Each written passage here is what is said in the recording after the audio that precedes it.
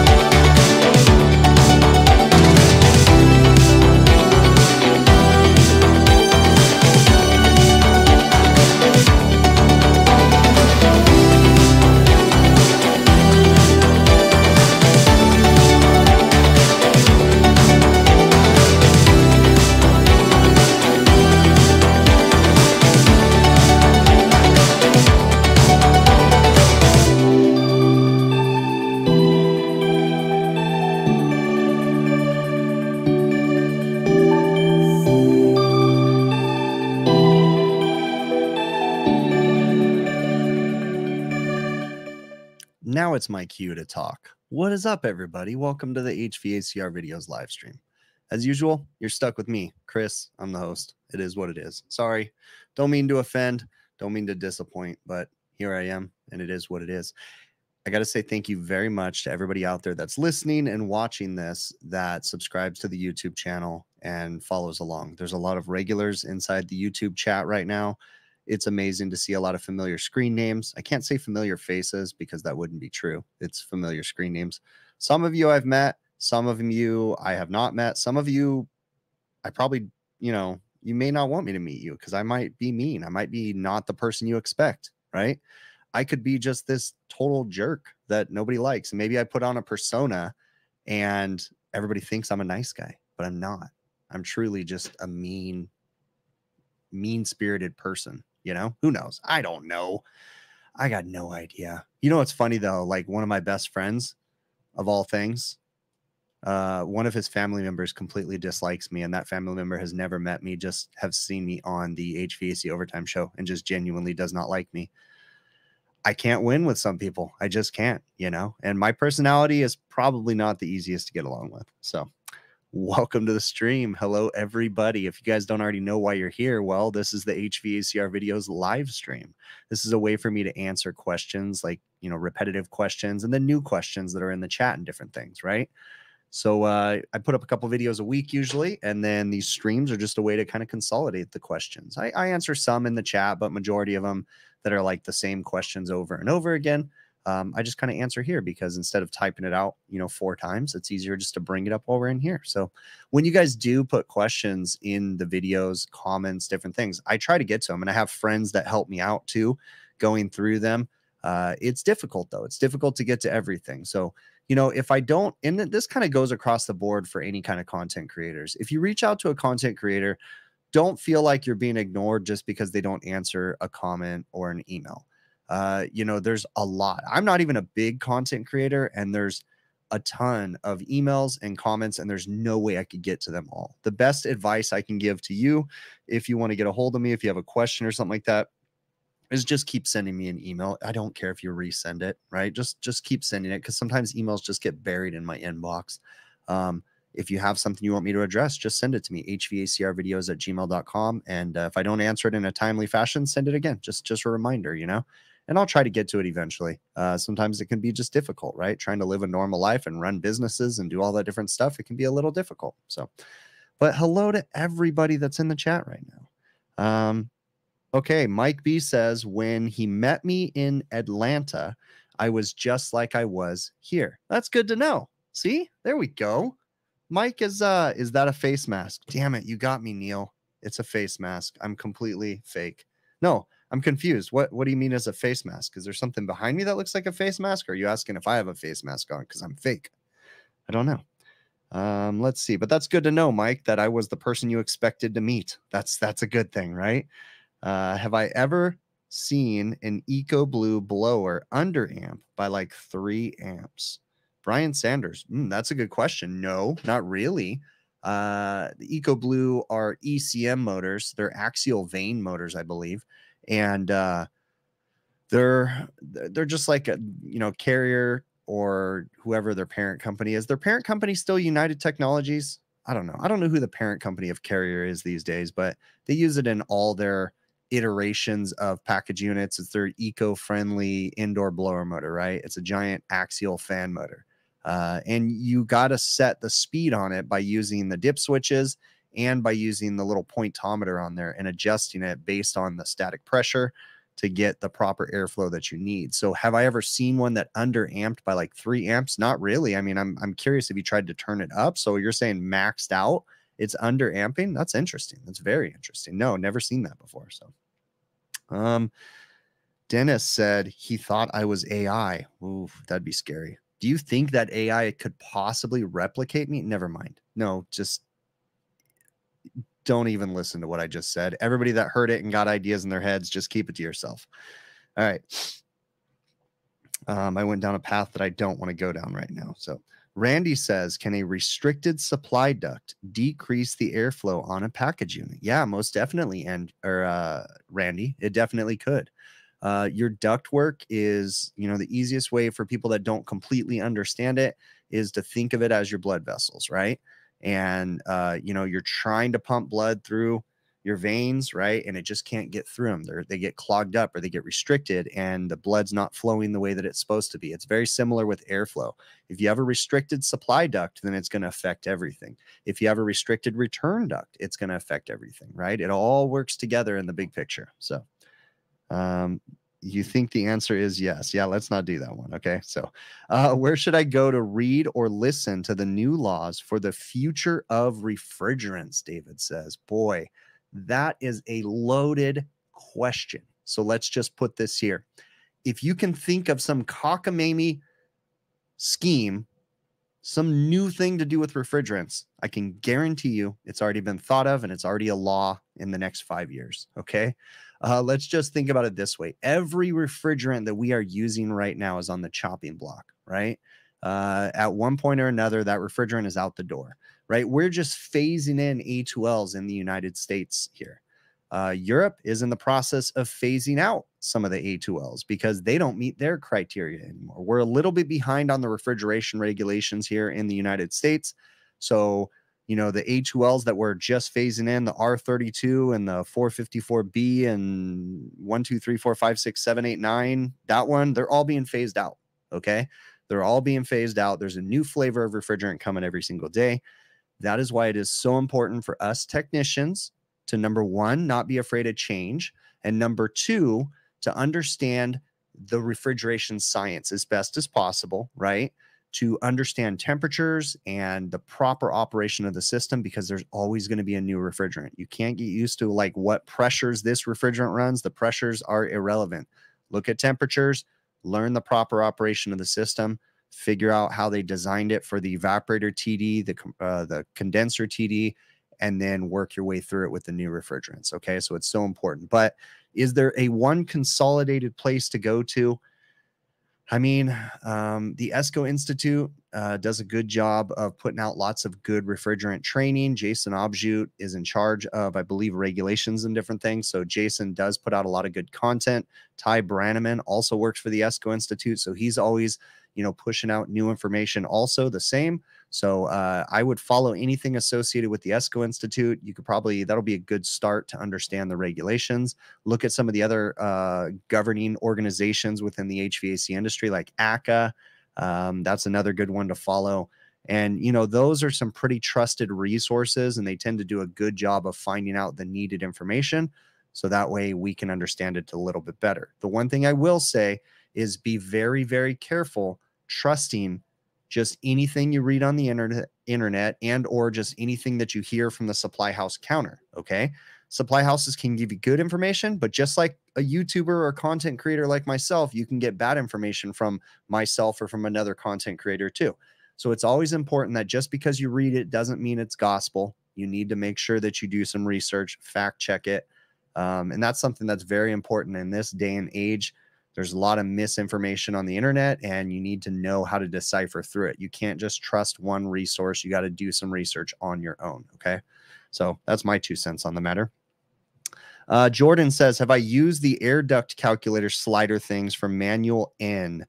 My gosh, I have not picked up an air duct calculator in many years. Uh, no, I can't say that I have. I don't do enough design work to be opening up the ACCA manuals uh, I did a little bit of work on my house, but I really didn't do a lot of the calculations and stuff when I when we were designing the system. I really relied on my buddy Adam Mufich uh, to help me with the design and stuff. So he kind of figured everything out for me. Um, but no, I don't use uh, slide rules very much at all. Uh, most of the work that I do is refrigeration and air conditioning service work. I'm not, for the most part, redesigning duct systems on a regular basis, and I'm not designing systems from the ground up on a regular basis. So, full disclosure, right?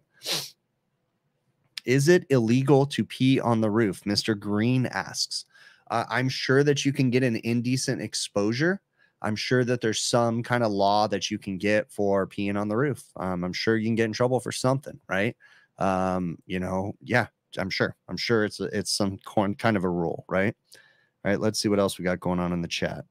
Uh, okay, so Josh says that he loved the recent video and loves the content and love watching every single video. Well, th- that's very nice. I'm flattered by that, Josh. Thank you very much, my good friend. Um, let's see. Uh, everything HVACR. That's Steve. Steve says he's full of bad information. So am I. So am I. You and I both, Steve. We're on the same page here. All right. Uh, do I have any experience working for hospitals? Yeah. Yeah, I do. Uh, did a stint working with a hospital as one of their preferred vendors for probably about eight years, where I was doing uh, medication refrigerators. I was doing a lot of Follett Symphony ice machines. If you guys are familiar with hospital work, um, navigating, you know, all the different corridors and uh, satellite locations. Yeah, did a lot of hospital work. Like I said, for a good solid eight years, I was doing hospital work. So, um, I don't do any hospital work anymore. It was good and bad. It was very lucrative. You can make very good money doing it, but it was a high stress environment, lots of uh, you know, 911 emergencies all the time. As a running the business, it was a little bit difficult for me to work with hospitals because you know, sometimes you would get a call for something that you know is like a, a, a seriously critical item and then you'd send a technician out there that you know maybe they weren't 100% well versed in that. So then it was just basically i was out on almost every call because they had a very very high expectation and money was not an issue when i worked for a hospital customer right? M- mind you full disclosure i was a contractor working as a preferred vendor for the hospital right? So they had me doing all the maintenance on you know a couple hundred ice machines a couple hundred refrigerators and then all the service work too so uh, yeah, I mean, it, it was good and bad. Let's just say that. So, uh, you know, when when we parted ways with the customer, um, I was bummed, but then at the same time, it was kind of a relief because uh, it was guaranteed that you'd get called out on every holiday um, to go do work, and it was just kind of a bummer sometimes. So, uh, let's see what else we got going on here. What are some tips for someone who is interested in HVAC as a career. HVAC is a great, fun trade if you make it fun. You can also make it stressful. You can also make it difficult. Okay. Um, it's so important to to basically you need to do research. You need to understand it's not anybody else's duty to train you. You have to take the initiative and seek out training. Sometimes your employer pays for it. Sometimes you got to front the cost. They'll reimburse you. It just depends. Inevitably, though, if you go to training and you gain knowledge, that knowledge is yours to keep forever. Nobody can take that knowledge from you. So, as a technician, especially a new technician in the trades, I implore you to take any opportunity to gain new knowledge. If your company's willing to send you out on a training for something like that, take it, take it, take it, take it. All the knowledge is better than none of the knowledge, right? Or, or you know, any knowledge is better than no knowledge, essentially. So it's always important as a new guy. This is a great trade. There's a lot of potential, a lot of possibilities. You just have to put in the hard work. This is a, a tough trade. You know, it's physically demanding. Uh, you got to look out for yourself. You got to look out for your employer, your customers, all that good stuff. But it's a it's a great trade. So I implore anybody out there that's interested to look into it some more, get into this trade because we need your help. And you know, it's a good career. So let's see what else. What do we got going in the chat? What am I reading through here right now? Seeing what I'm missing. Got a couple things I want to cover as usual. Um, Let's see. Freon Leon says we doing a braze training tomorrow morning. That's cool. I could use some braze training. So, um, Jason Johnson says no free lunches in this trade. It has to be earned. Scott Savage, how you doing today, bud? How are you doing? All right, let's see what else we got going on in here. Um, okay. Let's see. Sean Leather says loved working in the old body coolers. Creepy. Yeah, we we had a couple morgue coolers at the hospital customer. We had a four passenger and a two passenger. Uh, got some fun stories in those things. Told them many times, but we'll definitely probably tell some more. Remind me um, on the HVAC overtime show. I'll tell some of the funny morgue stories. I'm sure I've told them before, but we could tell them again. All right. So a couple things. Edward had asked me a question from a recent video, and he was very curious about changing pillow block bearings. And he's struggling to get pillow block bearings off of, let's just say, an exhaust fan. Okay.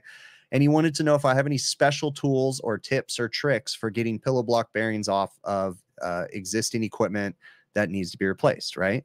Um, so, you know, first and foremost, when you are removing power transmission, bearings, pulleys, different things like that, right? When you're pulling the bearings off or the pulleys off, it's so important to make sure you understand that everything needs to be cleaned, cleaned and lubricated, usually with like a penetrating oil, right? There's several different brands of penetrating oil, but you clean the shaft up really good, put a penetrating oil on there, let it sit for a minute. Uh, take a dead blow hammer, which is a hammer with sand in it, give that bearing a tap just a couple taps on all different directions, try to break anything free. Um, and then what I can do when you're trying to take pillow block bearings off, and I know this is probably difficult to understand, but I'll try to use the force of the wheel or the exhaust fan. So I'll loosen the set screws on the bearing, but leave the the um the the pulley on top of the bearing on, okay? And leave the wheel connected down below the bearing that's connected on the bottom side of the shaft. Let's just say an exhaust fan, okay? So I'm going to loosen the set screws on the bearing. I cleaned up the shaft on both sides, put some penetrating oil on it.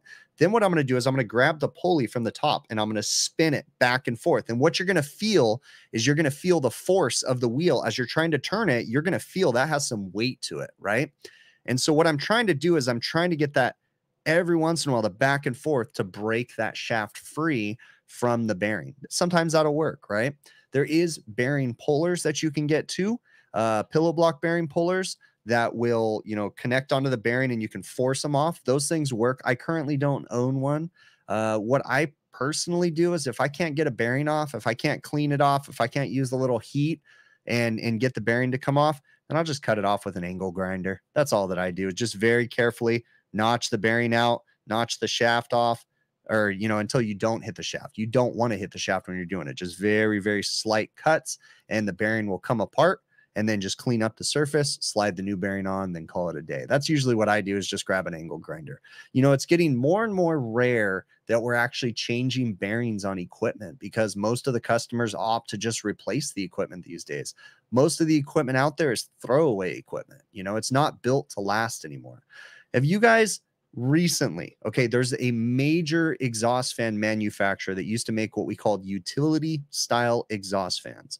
Utility style, in my book, is an exhaust fan that hinges up that can be you know uh, rebuilt many times it's not an aluminum mushroom fan okay? So there's a company that used to exist called supreme fans. They used to make some very high quality uh, exhaust fans that were utility set fans and you could pull them open you could change the wheels the shaft. They were basically made out of giant really thick gauge steel. They lasted forever. But as time goes on 30 years 35 years you know goes by the fans start to get worn out. When you try to get a replacement one of those fans it's made by a new company now those those fans are in excess of $20,000, $25,000 for an exhaust fan for some of them. It's pretty crazy how expensive they've gotten versus what they used to cost way back in the day. You can get a mushroom, one of the aluminum mushroom fans, you know, for uh, ridiculously cheaper than that that really expensive fan that's going to last, you know, 25 to 30 years. So customers just tend to opt for the cheaper stuff these days. So it's very rare that I find myself changing bearings. Um, let's see what else. Yep, Supreme came with all the fixins. That's right, 100%. Uh, let's see what else we got going on in here. Um, reading through the chat, seeing what I'm missing. Clean, clean, clean, says Steve from Everything HVACR. 100%. Um, 100%. Uh, you know, it's funny too. I was just talking to my buddy Dave. Uh, he may or may not be popping into the stream. Dave G. He's in here sometimes. Uh, was talking to him on the phone today because Dave is also uh, runs business and uh, we work for some of the same customers. So it's funny because I've been able to make friends with people across the country and just talk about problems that we have, you know, technical problems, business problems, and it's cool to be able to lean on people. So make sure you find that friend group uh, that core group of people that you can always lean on because it definitely helps. You know, running businesses can be stressful to no end, and it's nice to have someone that you can bounce ideas off of. So I appreciate you, Dave, for always being there when I want to make a phone call and just you know yap at you. So. Uh, let's see. Jordan says he had an HVAC interview today, and the guy was telling him manual N was for ductwork.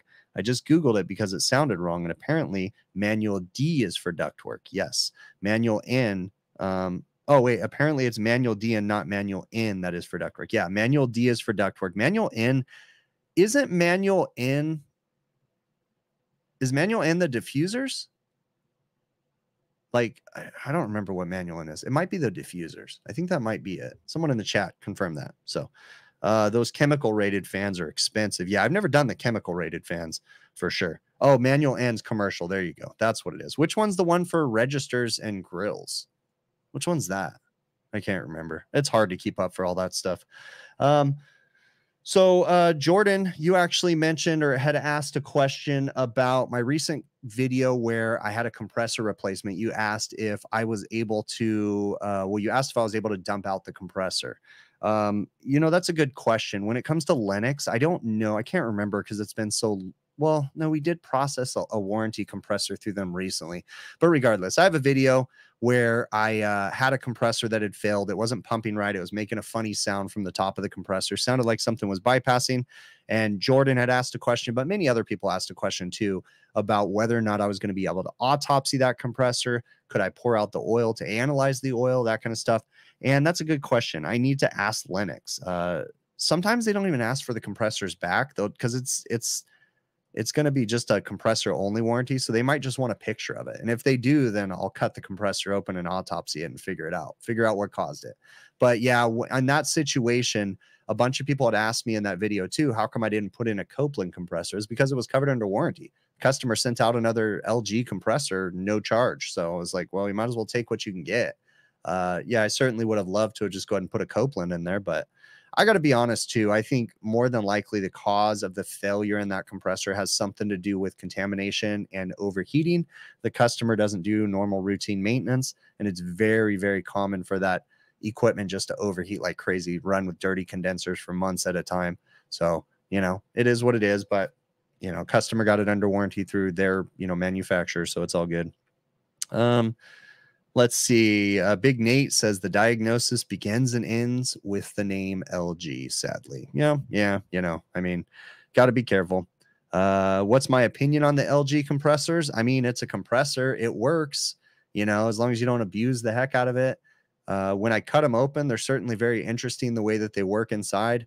But I mean, I have some pieces of equipment that I've never worked on and they've had the compressors in there forever. So, you know, it's just how you treat it, I guess. Uh, I don't know if it can take as much abuse as other brands, but you know, it is what it is. So, uh,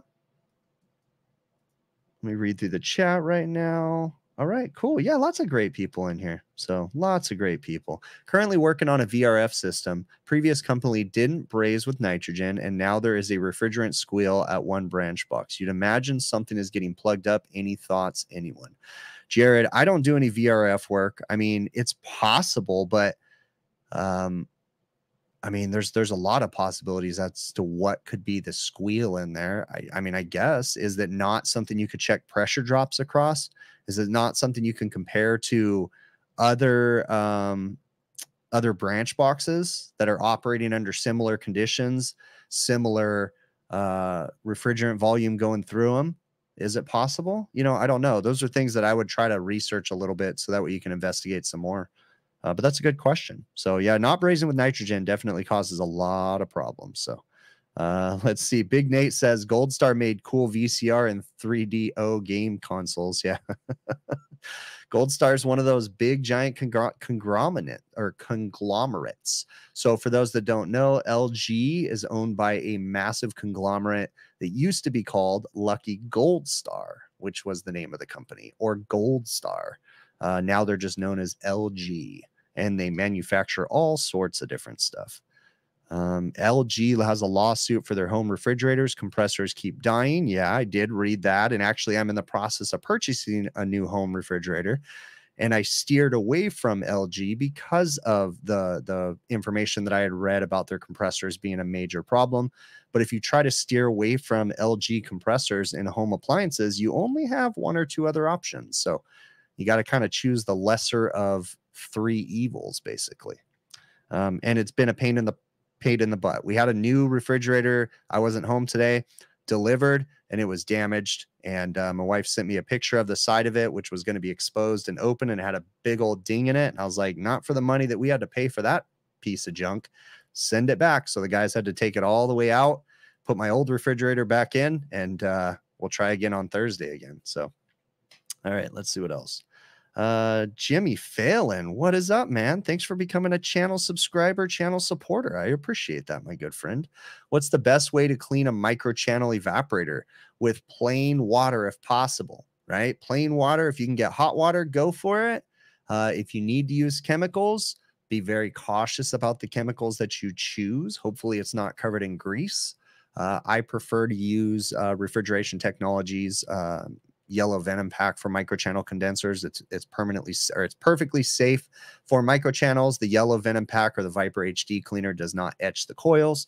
So that's my route. But try with water first, hot water first. And if that doesn't get them clean, then use cleaners. Anytime you can get away without using cleaners, go for it. But you know, dealing with restaurants like I do, you pretty much always need to use chem uh, chemicals to clean equipment because it's usually just beat up from the grease and different things on the roof and it just disintegrates everything. So just be cautious. If you guys uh, want to help support the channel, great way to do so is check out trutechtools.com. I have an offer code, big picture, one word. If you use that at checkout on most of the items on their website, you'll get an 8% discount. I get a small commission from that. And you can also purchase the refrigeration technologies chemicals and the spray guns and all the different stuff that uh, refrigeration technologies makes uh, from trutechtools.com. So, all right, let's see what else. Questions in caps. Yeah, definitely. It definitely helps. Uh, let's see what else. Did they route the piping correctly? Did they? So, oh, okay. I see. You're asking, answering that one. What's up, Pablo? How you doing, man? All right. Um, let's see. Daniel says he despises home warranty, but he does know it's an easy way to get work right away. Yeah, warranty is always a pain. Um, definitely is.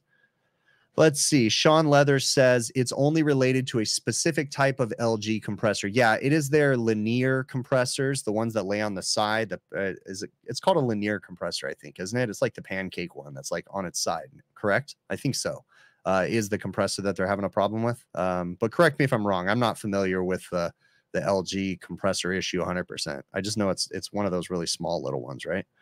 Um, How would I get the ice out of a Hoshizaki machine that's connected to a soda machine? Steve Covington, there is no easy way to do it besides just holding down the silly ice button into a bucket. That is literally on a dispenser. There's no easy way to get the ice out, man. So just put a bucket under the ice thing, push the button, and just hurry up and wait and just let that stuff come out. And if it's not coming out and it's frozen into a giant block, you've got a headache on your hands. You need to let it self defrost. Uh, I would steer away from pouring water into the ice hopper up in the top if you can get away with it because water is just going to make a giant mess in the convenience store or wherever this dispenser's at. Um, getting ice out of dispensers is just a pain sometimes. You just got to hurry up and wait. So uh, samsung has a problem with the insulation in the c uh, you mean in the cabinet? Let's see what else we got. Residential fridges get the cheapest ones with the least options. Yeah you got to kind of weigh out some different stuff for sure. So, uh, do I do any residential? No, I do not do residential. Okay, a couple more questions. Uh, David, um, oh, great question. So, David had reached out. Uh, I take it, I'm paraphrasing his question, but from his question, he works for a nonprofit or does work for a nonprofit, and he was trying to find information. Uh, or he was trying to find a cheap package unit, like something used that he could sell them that I'm assuming sell them. That way, you know, he can save them a couple bucks. So he wanted to know, he had an idea. He came across a package unit that was brand new, never installed, but the condenser had a hole in it and it had been flat on refrigerant for many years. So he wants to know he can pick it up for really, really cheap. It's right within their budget he thinks he can repair the leak and he wants to know if he's going to run into any problems. So, from what you're telling me, the system's been flat on refrigerant, meaning that it's been completely void of refrigerant for a very long time and it's had a hole in the condenser. What that means is that over time, uh, the refrigeration piping and the oil in that compressor has filled up with moisture. Okay. Just airborne moisture. It's gravitated toward that. It is absorbed into that oil and it's all throughout the system. So, I don't suggest installing a package unit that's that old, but if you need to, you certainly can give it a shot. If I was to do it, what I would do is I would completely remove the compressor, get rid of it, get a new compressor, install it in there, dryer, if proper evacuation, recharge, and move on after you fix the leak, right? Uh, trying to dry out the oil, depending on what type of oil it is that was in there that had been sitting flat for years, just absorbing the moisture from the air, is going to be a nightmare and you're going to create more headaches. So I'd strongly suggest not using the unit if you can. It was a used or not, you know, it was a it was a brand new unit that was damaged that it sounds like maybe it sat behind a supply house or something. I personally wouldn't install it, but if you have to, I would suggest putting in a new compressor for sure. Uh, maybe you know some good dryers in that thing too for sure. Uh, oversized dryer, pray exactly, hundred percent. Uh, Hamilton says that his son proposed to his girlfriend. He's 19, graduates high school in May. You think it's ridiculous, but the more you try to reason with him, the more determined he becomes. Hey, man, I have teenage daughters, and uh, this is kind of steering away from the HVAC talk, but that's fine. You know, it's a conversation. You're having a chat in there. Um, yeah, that's a hard one, man. You know, you know your family, you know your your kids and stuff. You got to make those decisions on your side. Uh, I can't really give you advice because my advice would probably be bad advice. Uh, the only thing I could say is, uh, you know, dads always have a hard time with everything. So just keep that in mind. I oftentimes have to remind myself to bite my tongue in certain situations. You can only do so much, but uh, hopefully your kids listen to whatever advice as long as you're giving it to them in the right way that you can. So let's get on back with some HVAC talk. All right. Um, okay. So I talked about, or I, I mentioned that in a recent video where the exhaust fans weren't working in a building, that uh, we had changed a motor starter, and I noticed that there was something funky going on within the motor starter. There was an interlink for the makeup air unit built into the exhaust fan. And what? Let me explain a little bit more. So we had a motor starter panel, right? So you had uh, maybe like five motor starters that were all wired together. You had a makeup air and then four exhaust fans, okay, right next to each other. And the power for the makeup air, it was 24 volts, ran through a set of contacts in each motor starter. So basically, if one of any of the four exhaust fans did not turn on, if the contactors did not pull in on the motor starters, then the makeup air unit wouldn't turn on. And I had actually bypassed that. And I mentioned that uh, it's typically installed because of a direct fired makeup air unit, and they want to interlock so that way the makeup air only runs if all the exhaust fans are running, especially when you have direct fired makeup air units. That is a must. So a couple people commented about it and said, "Hey, is it possible that that interlock had to do with the fire system shutdown?" And that is a really good question.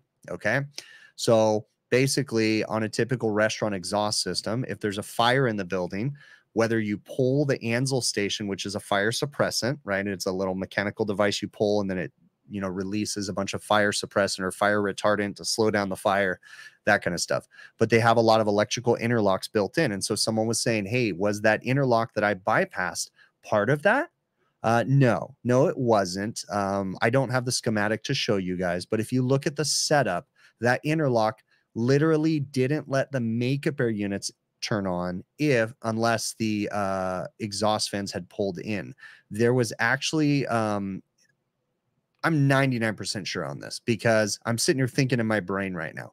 I don't think it had to do with the uh, exhaust shutdown for a fire situation. Okay. Because of the way that it was interlocked in there.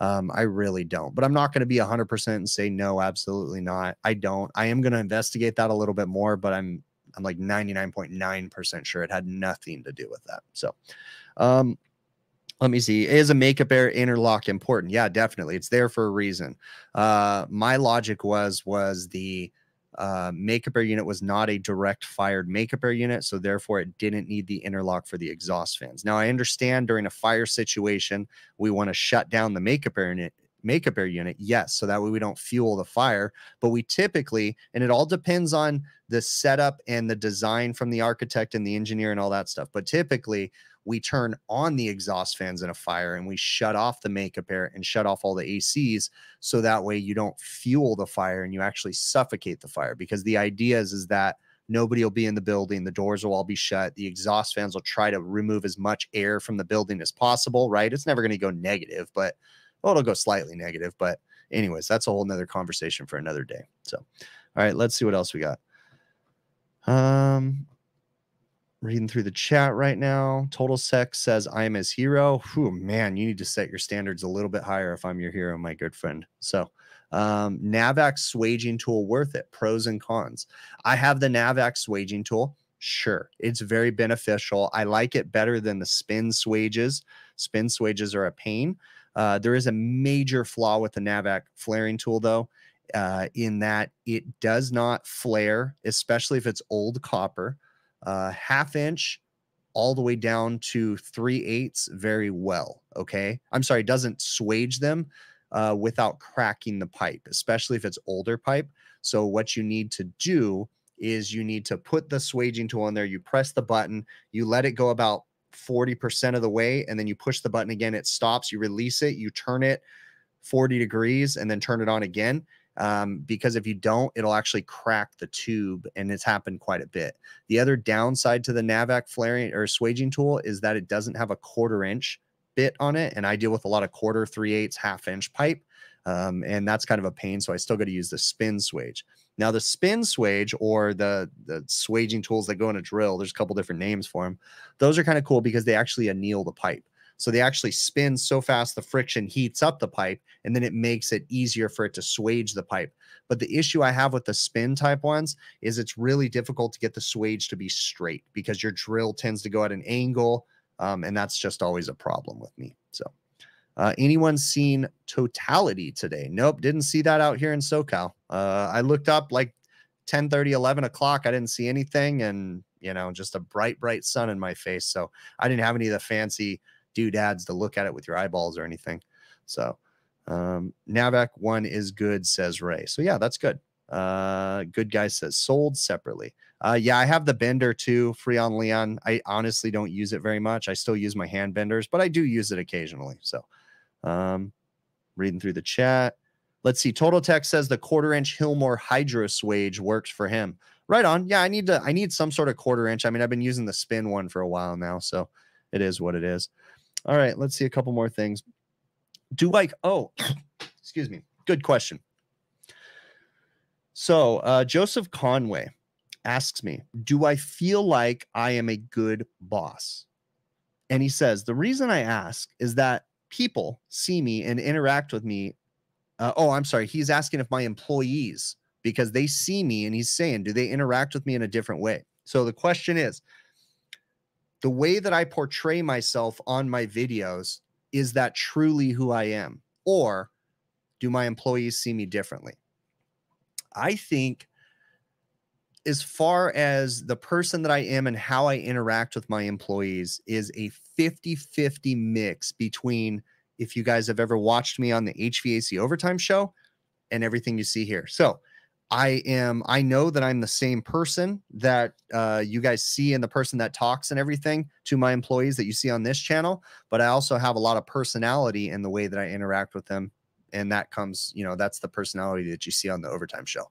So I don't, but you know, I guess I can't truly answer that question though. I guess my employees would have to be the ones that answer that question because they're the ones that are going to say whether or not I'm just, I, I, would like to say that I'm the exact same person, the crazy um, person that wants things to be as perfect as possible. I mean, I know that's me with my employees. I'm constantly saying, you know, I trying to be nice about how I, I will tell them like, hey, you know, I would have done this like this, but your way works too, like that kind of stuff. Um, so I'd like to say I'm the same person that you guys see, but I don't know. You got to ask my employees. So would I say my videos put pressure on them for quality work? Um, I wouldn't say my videos put pressure on them, Freon. I mean, I put that pressure on them because the quality work is is why I started making the videos again to reiterate to people out there chipmunk thank you very much for that super chat. I really do appreciate you. I'm not an hvac hero. Um, i'm just a normal person that's trying but thank you very much for that super chat. Those are kind words. So freon do my videos put pressure on him? I mean, the reason why I started my videos was because we screwed up as a company. We lost several employees in a very short amount of time, all for different reasons. But in my opinion, reasons we could have maybe saved a few of them had we changed a few policies and things that we did at the company. Basically, we were super busy. We weren't paying attention to the need of the employees. This is my perspective on on what happened, right? And uh, long story short, we lost a few employees all in a short amount of time, right? So I found myself having to hire people that didn't quite fix things the way that I wanted them fixed. I'm very particular in the way that I want things done for my customers, okay? So, long story short, I started making videos, showed the videos to my employees. They weren't originally supposed to be for the public, but shortly I made them that way after talking with some friends and the channel just became what it was. But the initial channel started as a way for me to show those employees this is the expectations that I have. This is what I want you to do. So you go back to the channel. The very first video on the channel is me changing few or uh, trying to figure out for a couple hours why fuses had blown on an electric defrost walk-in cooler. Okay. And I proceeded to take that entire system upstairs and downstairs apart, both evaporators, the condenser, analyzing everything, found multiple rub outs in the wiring, repaired all that, and have never since then had those fuses blow again. Okay. So the expectation I was setting was that we don't change fuses and move on at this company. We figure out why the fuses went bad. Okay. Because we don't accept the fact that fuses just sometimes go bad here. Okay. It just doesn't just doesn't jive with us. And if anything, I would be the person to make the decision on whether or not I thought a fuse went bad just because and that's going to be basically after the employee or the person has told me they've gone through every single thing to try to figure out why and couldn't find it. Then I would consider letting it just be and seeing what happens. But for the most part, we don't just accept the fact that fuses go bad. So that's the whole idea from the channel. Um, let's see. Uh, do I like the eco fans? Have I had any problems comparing them to versus traditional blowers? I'm assuming you're talking about like the axial fans on like the carrier equipment and stuff. I think is what you're talking about. I don't know. I don't know what you mean by that. Um, what do I think about a standard squirrel cage and a PSC motor versus one of the new ECM or VFD driven or axial fan motors? I mean, you know, the old school part of me wants to say it worked. Why change it? You know, it was easy to work on, whatever. But the more progressive part of me is like, look, everything's going to constantly change. You might as well embrace the change and and make money from it as opposed to always trying to hold on to the thing that you finally mastered 15 years ago. You know, it change is inevitable. It really is. So we just need to embrace it. So do I like the fact like absolutely do I love all this new technology coming into the trade? I mean, there's a side of me that doesn't like it, but the other side of me is like, wow, this is cool. This is something new to learn, something new that's going to break that I get to fix. I mean, I'm a technician. I love fixing things. So, eh, you know, it is what it is. Um, reading through here, went blind from a full moon. oh man, do I need to install ultra low NOx package units on commercial applications in California? I really I don't know. I think it's going to change everywhere, but yeah, ultra low NOx. I believe you're supposed to be doing that on most of the equipment. But what I will say is, is I don't install enough new equipment and you know deal with the permitting process enough. I, I every once in a while do change outs, but most of the time, uh, general contractors are you know are dealing with it, or facilities directors are dealing with pulling the permits and stuff, and then I'm sometimes just installing equipment for them. So I don't really know. I'm not super well versed in all the different codes, but I know low NOx is a really important thing here in Southern California, the California area. So I'm pretty confident that package units need to be some sort of a low NOx setup, but I don't know the specifics of it all. So um, reading through here, how do I find my technicians? Uh, my last technician that I hired uh, came from the videos, and actually, I'm about to announce that I'm hiring again so I'm going to be looking for a new technician. I'll put it out on all my social media platforms. Uh, this time, I'm going to be hiring another person. Um, I'm willing to train a inexperienced technician that's had some sort of training, you know, just some sort of trade school, basic fundamentals. I can help to build from that. So yeah, I'm going to be, you know, announcing it, and that's usually where I'm finding people is just by announcing it. Um, so yeah, but I'm also looking, you know, I mean, possibly for the right unicorn that's experienced as a technician but you know it's difficult to find the experienced technicians because oftentimes experience comes with bad habits too and so it's just kind of a gamble. So i've had good luck hiring experience i've had bad luck hiring experience i've had good luck hiring apprentices and bad luck. It's just every person's going to be different so i can't assume that every single time i hire someone's going to be just the perfect cookie cutter whatever you know that's why you start in a probationary period and you know you get to know each other um, and you know with me i want the technician that's going to come work for us to know our expectations right up front i don't want them to be surprised you know so we give them a transition period where they get time to come um, and work with us and you know and then we get to transition and work with them and you know just kind of figure out what works uh, all right reading through here Mike B says he can do Zoom. uh, Brian Sanders says he wants to work remote. Yeah, I wish. I wish. Um, Jimmy Phelan, thanks for that super chat, man. Says my balance is spot on. When you're a boss owner, there's a fine line of showing employees too much buddy buddy stuff. Of course, depends on the situation. I have um, had employees that I became really, really good friends with, like really good friends with, and it's worked out. And then I've also had employees that I've been good friends with that went really bad. So it's a hit and miss. Uh, best case scenario, though, is that, um, you know, supervisors, managers, service managers, and owners of companies need to be very, very cautious about being best friends with employees because it's a really difficult relationship. It really is. And so it's okay to have to be a work friend and have courtesy for each other and you know respect each other but it's a very difficult thing to be best friends uh you know just because there's just just frustrating things that happen right and so it's a fine line and it's going to be different for every single person so um, let's see what else we got in the chat right now uh, even the owner can't work remotely no i can't i can't work remotely i just have to have my hands and stuff 100% so um, let's see. Chipmunk says he has a pink unicorn mug and he is not an HVAC person, so he wants. that's funny. you are too funny, my friend. You are too funny. Uh, let's see. Simon says he does remember me getting mad at the Bluetooth economizer controls. Oh my gosh, if you only saw what my employees saw with the Bluetooth economizer controls and the things that I said to that economizer that would probably get me put on death row. for what I said to that economizer. Um, yeah, probably get me in big trouble. Uh, let's see. Will Speed says his boss is a good friend. He's known him all his life, and he understood that when he's on the clock, he's the boss and not my friend. And that's a great point. But Will, I think you would agree that you know a relationship as a friend with a boss or as a boss with an employee is a uh, a sensitive thing to navigate and it's a difficult thing to navigate. So you know and while it does you know and like i said it's worked for me in the past too but it's a struggle. It's it's it's not going to work for everybody. So it's something you really got to consider.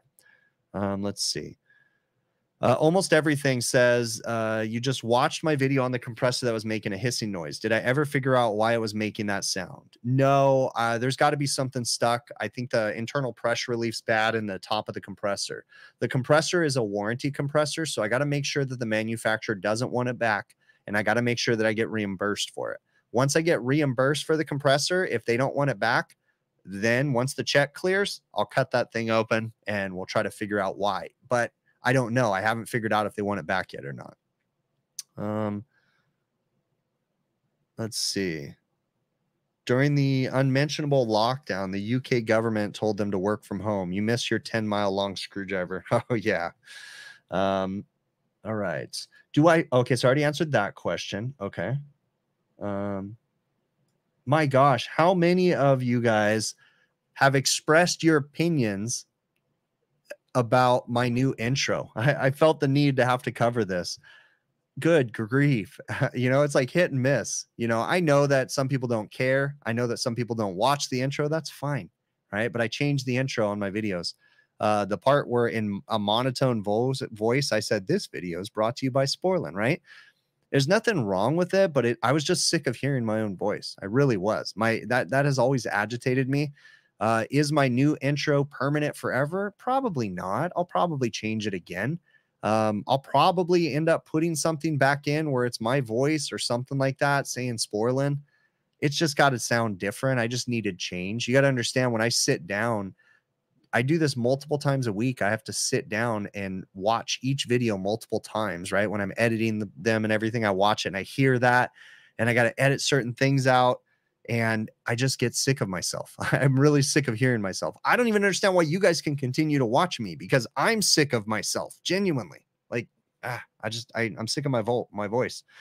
Have I ever knocked on a trade school door for a possible employee? Greg Austin.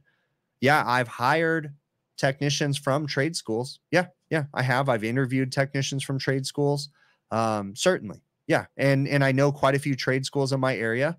So trust me, when I put the information out there, uh, there will be people from trade schools and all sorts of stuff, you know, sending out a resume.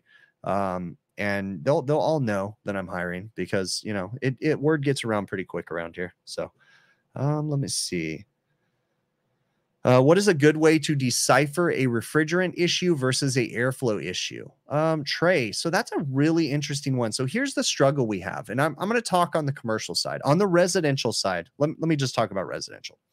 On the residential side, really easy way. It's it's rather easy to figure out an airflow versus a refrigerant problem on the residential side. Okay because we have tools that can very accurately and very quickly measure total system airflow. Uh, specifically, I'm talking about the TrueFlow grid from the Energy Conservatory. Okay. Um, I'm good friends with the Energy Conservatory. I have no other relationship with them other than that. Um, but I will say you can purchase their tools from trutechtools.com. If you like something, again, use my offer code Big Picture. You can get a discount at checkout on most of the items, and then I get a small commission. Okay. But with the TrueFlow grid, you can put that on a home system and you can measure true airflow from the return going through the equipment, right? And then you can take a powered flow hood and you can go measure all the diffusers or the registers and you can figure out total airflow coming out of the registers.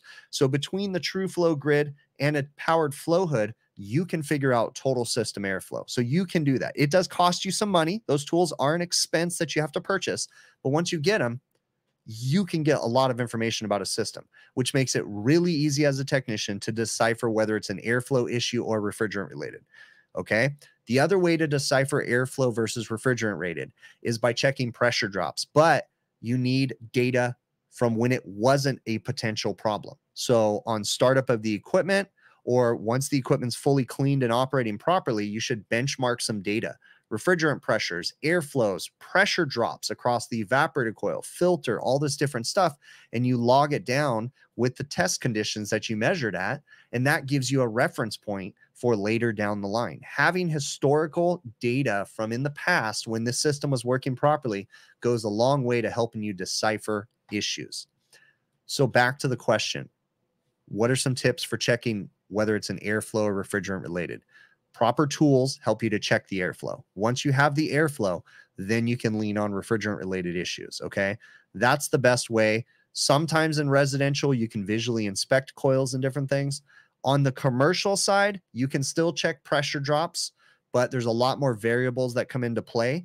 Using things like the TrueFlow grid are a little bit more difficult on package units. It is possible, but it's much more difficult. And the investment as far as financially is significantly higher. Same thing goes for flow hoods, measuring total airflow out of commercial package units and different things. The flow hoods are much more expensive.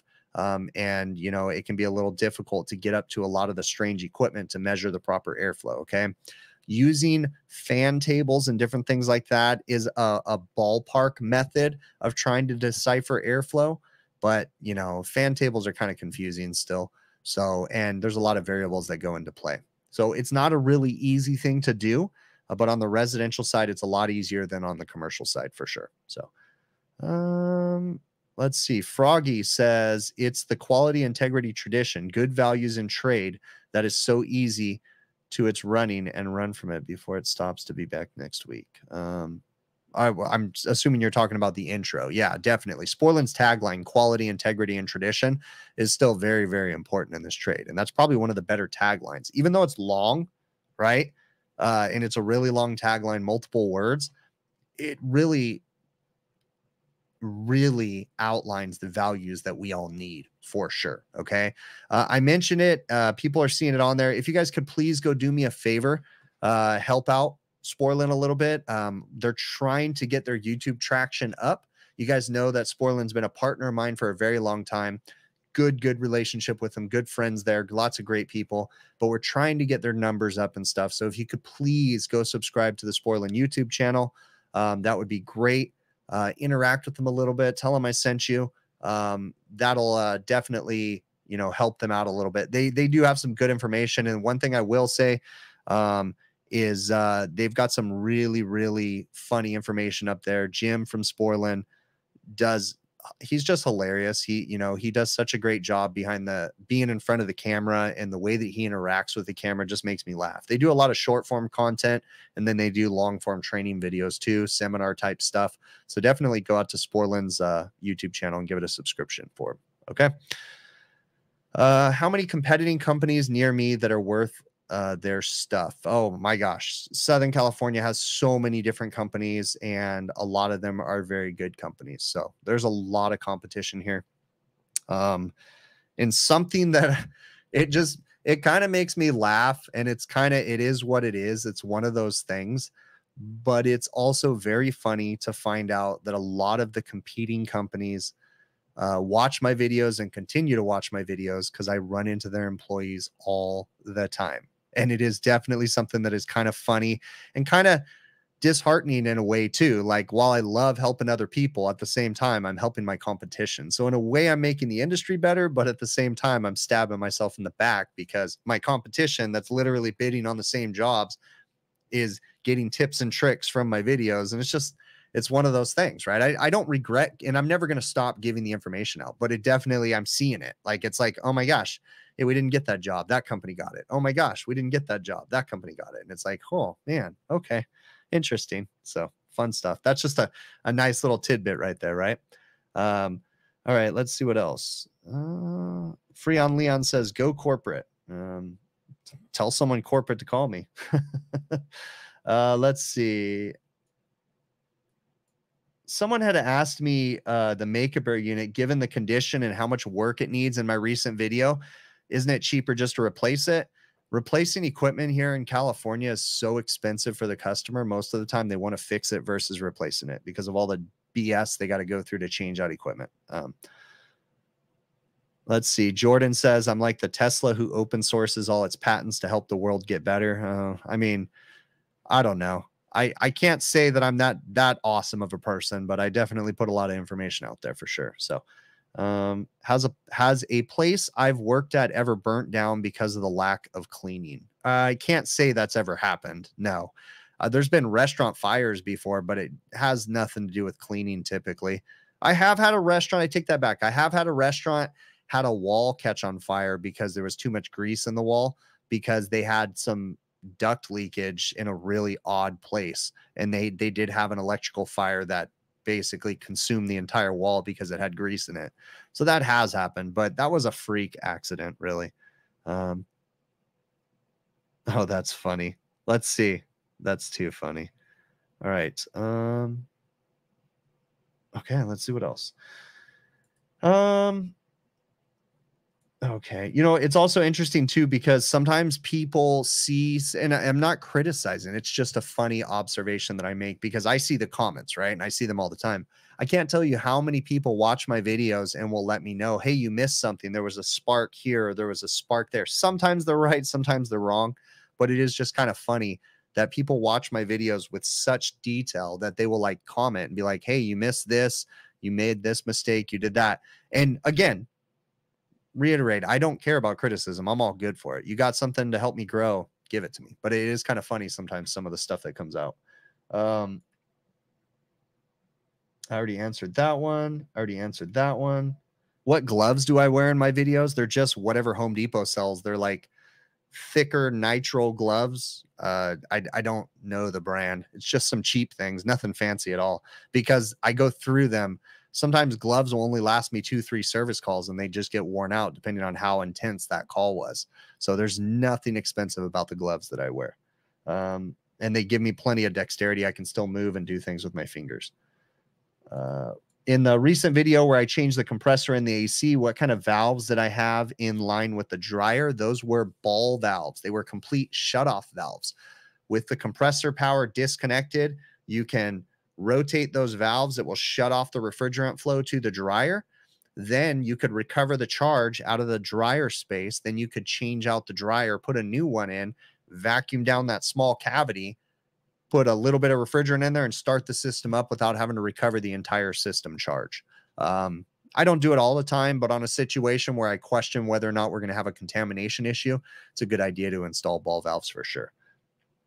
Um, yeah, exactly. No, I don't. Uh, Jason says, just don't be a jerk, basically, about criticism. 100%. I will never be a jerk about criticism. If you have something like I, I grow from criticism, and there has been comments and things that were said nicely from friends, from, I mean, even Jason, Jason Johnson. I wouldn't call it criticism, but you know, Jason's reached out to me and said, Hey, there's a better way. Hey, you should check out this tool. It can help you with that. I've grown from things that Jason has shared with me, right? And Jason and I kind of became friends, you know, and we communicate with each other and it's kind of cool. Uh, so 100% I am open to criticism. Um, and I'm not saying Jason was criticizing me, but in general, I'm open to that dialogue. I really am because it helps me to grow. And the same thing on the flip side, I wish more people were open to criticism because you know, I see people struggling with certain things. They're putting stuff out on social media, content creators, all that different stuff. And I would love not, I don't expect if I'm going to tell someone, but I would love to tell people my observations and my experiences with things. But it's interesting because a lot of the content creators, they get their feelings hurt really quick. If anybody just tries to say, hey, that was kind of an odd way to do that or whatever. It's so funny. Like it, I have completely lost the ability to be able to share feedback and in air quotes criticism to other people because I get accused of bullying people and it's just and I get it I have a platform so I have a little bit more you know people recognize me in chats and different things but it's like it's kind of sad because I can't just like share information like and again I'm not trying to be a jerk but if I share the slightest bit of criticism with most of the social media creators out there it I just get accused of being just a big bully. It's kind of crazy but I think we all could use to hear criticism more often because I think it'll help us all to grow for sure. Uh, let's see, almost everything. Your home air conditioner, the compressor is extremely loud, 18 years old. Uh, when it starts up, it sounds like a squeaky tire trying to spin really fast. Is that normal? Uh, let's see. Yeah, I mean, it's hard to say. It doesn't sound normal to me, almost everything Apple. It really doesn't. It sounds like you guys need to really making some considerations. If the equipment is 18 or 19 years old, it's basically on borrowed time. Uh, 18 to 19 years, I would love to say the equipment should last 30 years, but nothing made today is going to last 30 years like that. So, as far as air conditioning equipment for residential, so it's it's a really good idea to have someone look at it, find a reputable company have them dig into it a little bit more before it goes down in the middle of the summer. And then you're basically at the mercy of whoever can get to you fast enough. So just, you know, always try to be prepared for that stuff because air conditioning replacements these days are huge, especially with the advent of all the new technology and the equipment, because all that new technology is trying to squeeze out the most efficiency out of every air conditioner. In doing that, everything needs to be perfect in the system, airflow and everything. In the past, we could get away with cruddy airflow, low airflow, different things like that. But today, with technology and all of our equipment, you can't get away with it. So, oftentimes, an air conditioning replacement, you know, complete system replacement in a residential home should be followed up with a complete duct renovation too, or done in conjunction because I'm going to go out on a limb and say 99.9% of the duct systems in the United States on commercial and residential are done wrong and don't have the proper airflow coming out of them. And that's basically affecting all the the new equipment and that's causing issues. So we all need to be looking into servicing our equipment more, checking the airflow properly and understanding when we're selling equipment as technicians um, that you know it's not just a simple change out anymore it's a complete system retrofit most of the time and that's a big expense it is. So it's kind of kind of a rock and a hard place for the customers for sure so. Um yeah definitely got your money out says freon that's a hundred percent yeah that's that's definitely. Um jordan says people aren't open to criticism they may say they are but it's impossible to get them to admit they're wrong even when they're saying a reversing valve can operate back and forth minutes after shutoff. Yeah, I don't know. You know, who knows? Everybody, it just seems to get so upset. And I'm not going to say I'm perfect. I'm not some, you know, holy person that, you know, doesn't have issues just like everybody else. I do, but I I will say I I can 100% say I'm open to criticism. Um, you just don't got to be a jerk about it. You know, when you're trying to be critical or share information with someone, maybe they have incorrect stuff, you don't have to be a jerk about it. That is 100%. But at the same time, people need to understand that, you know, you're not always going to be talked to like you're in a, a, a teddy bear party with you know soft walls and all that stuff, right? I mean, sometimes there's some harsh reality and truth, and you know, people just need to not get their butt, their feelings so butthurt anymore, right? Like they just need to get over it. Um, are, am I doing any more streams with HVAC school? Uh, Simon, I mean, you know, it's it's all about HVAC school. It's what they want, right? If you guys didn't know, I did a live stream with the HVAC school last week on Wednesday. Uh, they they invited me to be a guest on their channel. I mean, I'm sure you know if if you guys tell them that you wanted to hear about something, you know, send them a send HVAC school a message and tell them you want me to be on the stream if you do. I I would love to be a guest on their stream again. And I mean, the you know they they basically have invited me. They've they've told me, you know, if I ever come up with any topics or anything they you know I want to talk about that I could be a guest on the podcast or all that.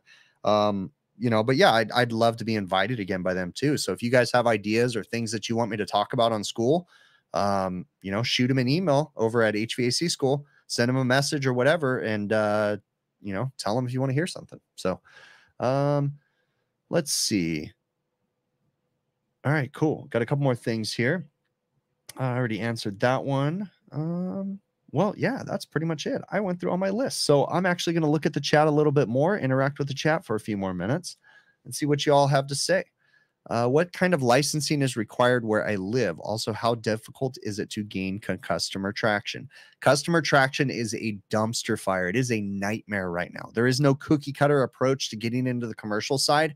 It's getting really difficult. Even as a small business like myself, I am struggling right now because – uh, there's a lot of really, really big companies buying all the refrigeration companies, even my competitors, and they are squeezing me out basically. So it's a struggle. So I, I'm not going to pretend like I have the magic answer to that question because I don't have it. Um, let me see. What did I miss? I already answered that one. Uh, almost everything Apple says you got a good company in Lancaster County to come and check it before summer and winter. You want to change the therms? Yeah, definitely. Uh, yeah, well, the Carrier Infinity controller, almost everything, uh, you can only have that on an actual Infinity system, I believe. I don't think that'll work on a non Infinity system. So, what kind of licensing is required where I live? Oh, I didn't answer that one. Um, the licensing is uh, you basically have to have a contractor's license to run a business as a technician, you only have to have an EPA section 608 certification for the type or, or 609 if you're going to go into automotive. Um, but so as a technician, you only have to have an EPA certification. As a business owner, you only have to have a contractor's license, which says basically you've been in the business for X number of years. That's pretty much all the contractor's license is. And there's some other questions you got to answer. Um, but you do not have to have any kind of a mechanical license or anything like that to be an HVACR service technician in the Southern California area. Um, see what else we got going on here. Jason says C20. Yeah, that is the contractor's license. We hold a C20 and a C38. Um, all right, cool. Well, let's see what else is going on in the chat. What else we got going on? I just got back from Vegas with my wife this last weekend. It was really nice. So uh, it was my wife's 40th birthday. And uh, for my 40th, I wanted to be like a little kid. And I rented out for like two hours. When I say rented out, it makes it sound like it's something fancy. For like two hours, we we paid a, a, roller skating rink to only let us skate on the floor, right? So we rented it out for two hours, invited all of our friends for my 40th, and we went roller skating for two hours and ate pizza and crap like that. That was cool. And it was really cool too because um, you know, I was able to invite all my friends and then, you know, I just rented the place. It was cool. It was a lot of fun.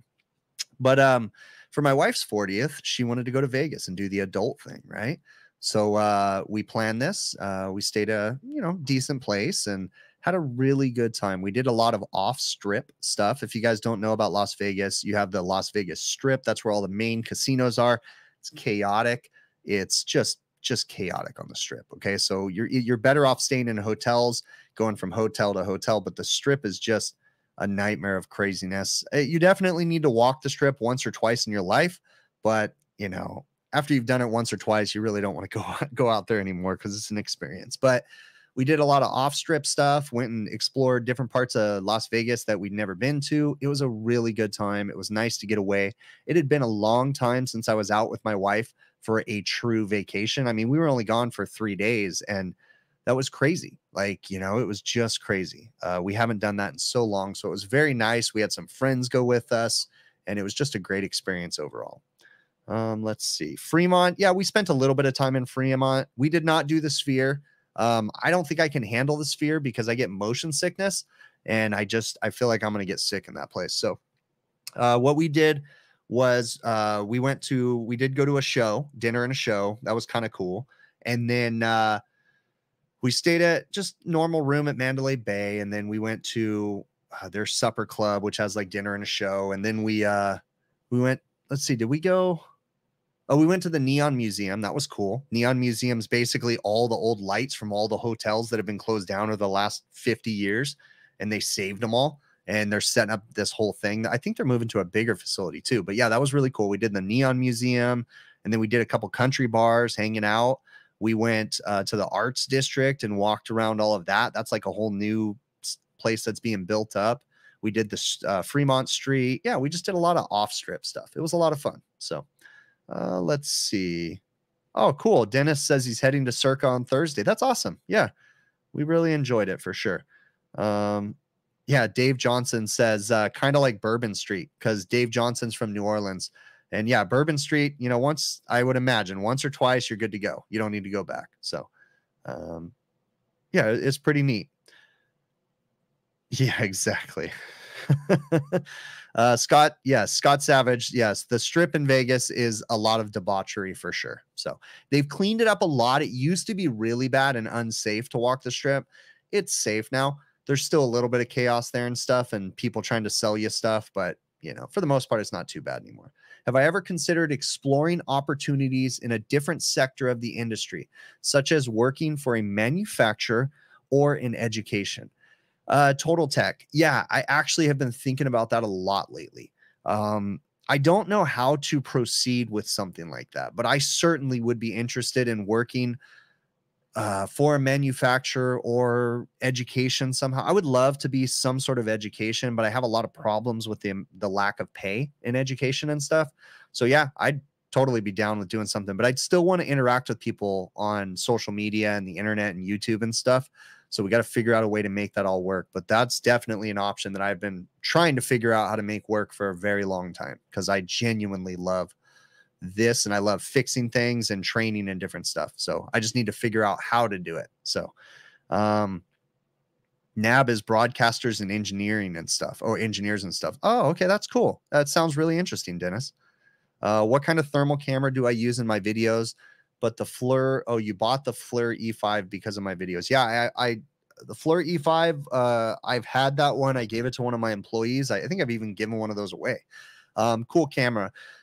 So I have a FLIR One Pro that plugs into my phone. I do have that. I haven't used it in a while. I actually haven't used that since I've gotten an iPhone. But I also have a uh, a Hikmicro M30. I think it's a handheld camera. Um, rather expensive, but it's a nice quality camera. Uh, and that's what I've been using a lot lately. Uh, is the Hikmicro. The Hikmicro doesn't do as good as far as content goes. As far as an HVAC content creator, uh, the FLIR One Pro is pretty much the best you can find right now as far as the the proper footage that transfers to a video. Uh, with the Hikmicro, it's kind of a pain to get the video, and it's in the wrong format. It's just a pain. So, but um, haven't tried the Hikmicro Pocket yet. Uh, Jordan says, when a Copeland compressor is bypassing on either internal bypass, will it ever make a loud clanking, banging sound or just hissing? I don't think clanking and banging would ever be anything. Um, I don't know. That's that's not going to be anything that's normal for sure. Uh, that that's that's a problem for sure. Um, let's see what else.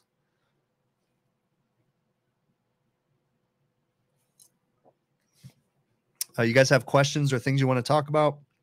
Throw them in caps lock in the chat. Yeah, the term slug is something that is is kind of something you know that doesn't really happen with scroll compressors it doesn't happen with most modern compressors because they have safeties built into them. You can definitely have effects of liquid refrigerant coming back um, or large quantity of oil coming back at one time that can affect the compressor but the fact that it's going to internally explode on a scroll compressor is pretty difficult to do. Um, not saying it's not possible right? I mean you abuse something but under normal conditions it's not something that's going to happen as much as as people think it will um, can I fix microchannel coils? It is something you can do. Uh, it's not going to be pretty for the most part. It's typically going to be pretty ugly, uh, but it is possible to do it. I've attempted with success before and with no success before. So every time can be different. I've never had anything on video that has been successful for sure. So, um, right on. Good to see everybody. Um, let's see what else. All right. Well, it is time for me to go too because I think I'm going to go find something to eat and hang out with the family for a bit. So I really do appreciate y'all coming in here. Um, thank you so much. If you guys haven't seen the episode that I did with HVAC School last week, go check out the HVAC School YouTube channel. Check out the last live stream. Uh, it was a pretty good one. Had some good conversations about commercial maintenance for air conditioning systems, split and package units. It was with Bryan Orr and uh, one of his employees that worked for him. Forgive me, I don't remember his name. Uh, and then, of course, uh, Adam and um, oh, gee, many Christmas, the new other co host of the HVAC school show. Gosh darn it. He's co host with Adam. I'm so sorry I'm forgetting your name right now. But, anyways, it was a good episode. Definitely go check it out. Thank you so very much, everybody. I'm going to cue up the outro music and I'll uh, bring the pups in here in just a few minutes to hang out and uh, say hi to everybody. So, let's go ahead and uh, open this up. What's up, Ike? My good bud Ike's in here. How's it going, man? Um, yeah, just queuing up the outro music right now.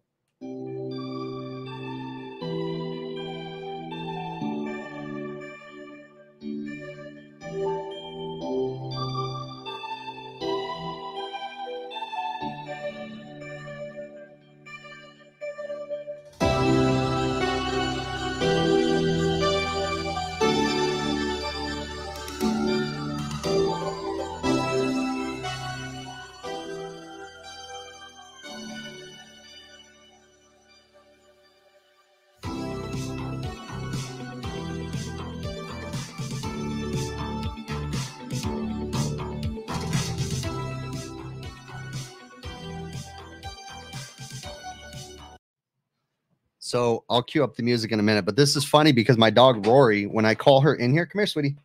Rory, come here, up. She like she runs in my office and she jumps on my lap because she knows that she's coming in here to say hi to everybody. She knows it, and so does Luke. Luke's right here too. It's my other pup. Come here, come here, buddy. No, not Rory. This is for Luke. Come here, buddy. Oh, this is my buddy Luke. Luke, oh, he says hi. Luke is a silver Labrador retriever. Um, got him a couple years ago. A lot of the people that have been OG watchers, they they watched him from a puppy being a big giant monster like he is now. This is my big boy right here. He's a good boy. Good boy for sure. Rory is his little sister. She's an Australian Shepherd, and she is the devil's spawn. Come here, come here.